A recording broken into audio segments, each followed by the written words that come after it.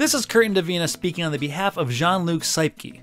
What could a Resident Evil 4 remake look like?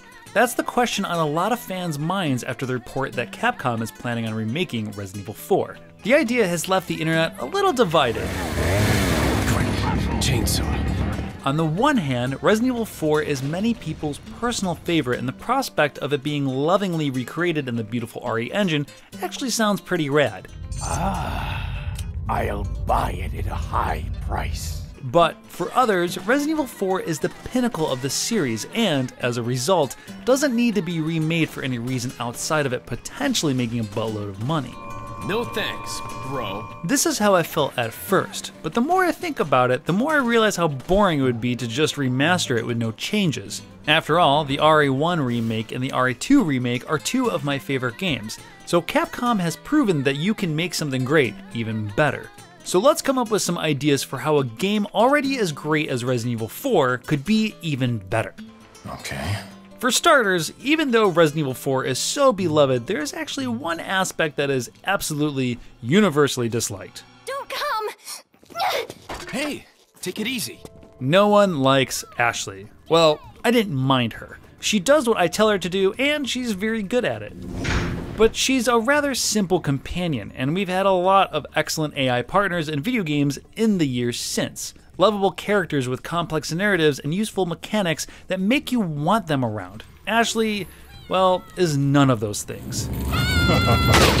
Granted, she's helpless by design, an objective you need to protect, but her complete lack of self preservation instinct feels archaic and, at its worst, frustrates players trying to keep her safe, which leaves a great opportunity to improve her in a remake. Now, I don't think you need to give Ashley a gun, but as an extra set of eyes, she could provide alerts to players of incoming enemy ambushes. She could also inform Leon of nearby treasure or maybe scavenge the loot enemies drop.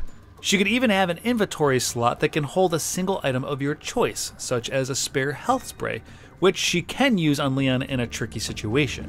Leon! By giving her small but helpful things to do, she could become much less of a nuisance. What's going on? Now, when I think of my favorite moments from Resident Evil 4, I recall the terrifying opening village sequence, the first El Gigante fight when you're assisted by an adorable pup, and the unexpected shift to a gothic castle run by this guy. I've been expecting you, my brethren.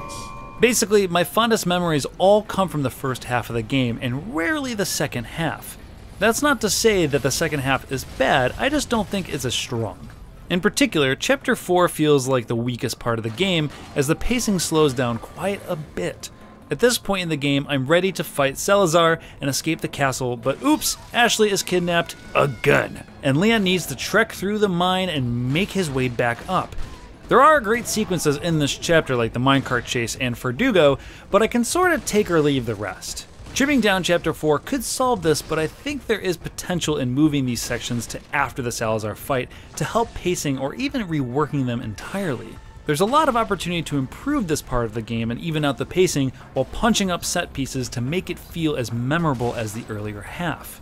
Playing Resident Evil 4 for the first time back in 2007, yes, it was the Wii version, and yes, it's still one of the best versions of the game, don't at me. I was surprised by how often the game threw me off guard. Whoa, whoa, whoa, whoa, you're throwing a one hit kill chainsaw guy at me in the first five minutes of the game? Wait, you're telling me if I shoot them in the head instead of killing them, they could get even more fed up? The dog comes back and helps you? Oh my god, this is the greatest game ever made! Moments like these felt special and memorable, and unfortunately, they won't hit nearly the same in a remake because I've already experienced them. Which is why I'd love it if the remake didn't adhere 100% to the original and mix things up to create new moments. What if the chainsaw guy didn't show in the opening but instead somewhere completely unexpected?